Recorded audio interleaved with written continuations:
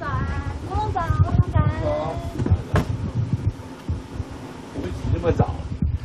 主动和媒体打招呼，红海创办人郭台铭心情看起来很不错。悼念亡妻林淑如七十一岁名旦，一早现身三峡爱物园。呃，七十一岁的这个呃名旦呢，来这里啊，给他这个啊啊祝福哈，我非常感谢啊，也是礼拜天的啊早上哈啊，非常感谢。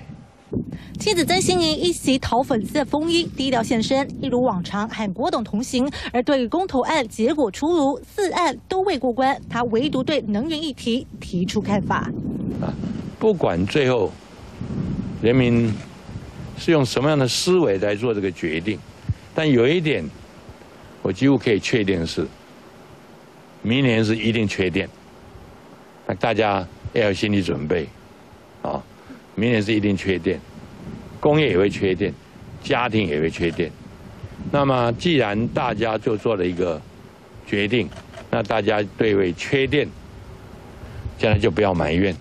断言明年会缺电，要民众为自己的选择负责。但看看今年台电公布的备准容量率达百分之十五点五，表示没有用电危机。明年更可以提升到百分之十七点一，更高于法定标准。我们从二零二二年到二零三零年，几乎每一年都有大型的发电机组上线。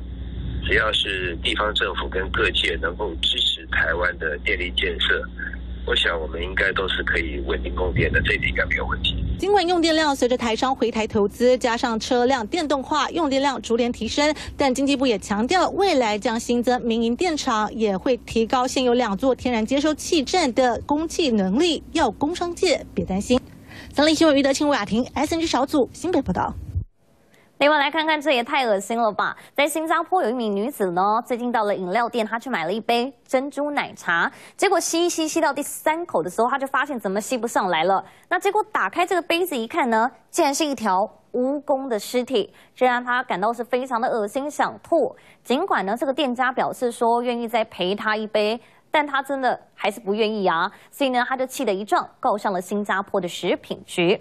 另外来看看，有民众说，他最近到一间咖啡厅用餐，结果却莫名其妙被虎头蜂叮。他当下就跟店家说，那对方只问他说呢，要不要帮你叫救护车呢？但是没有要赔偿的意思，让这位消费者觉得是非常的夸张，还发文提醒大家说，以后去那间店大家要小心哦。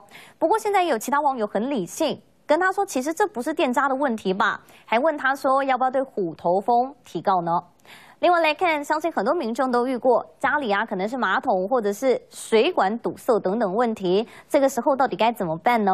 最近在中国有一个民众，就因为家里面的马桶堵塞长达了一年之久，所以呢，他就找来了水电工来维修。没有想到呢，这个水电工竟然发现，在他家马桶里面竟然藏了一条大鱼。那这工人就推测说，可能是因为在厕所旁边这间店呢，旁边是有养鱼，那鱼可能是在无意之中掉到了马桶里，所以还才会。